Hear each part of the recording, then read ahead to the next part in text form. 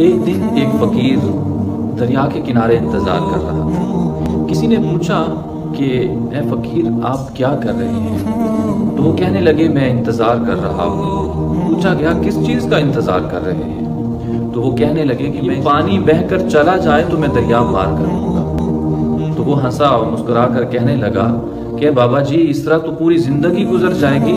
आप कभी दरिया पार नहीं कर सकेंगे। तो फरमाया कि मैं यही समझाना चाहता हूँ कि जो लोग कहते हैं कि मैं ये काम कर लूँ, उसके बाद इबादत इलाही करूँगा। ये कर लूँ, उसके बाद मैं नमाज़ों की तरफ़ आ जाऊँगा। ये काम कर लूँ, फिर मैं हज कर लूँगा, फिर मैं खिदमत कर लूँगा। तो ज़िंदगी तो इसी तरह गुजर जाएगी।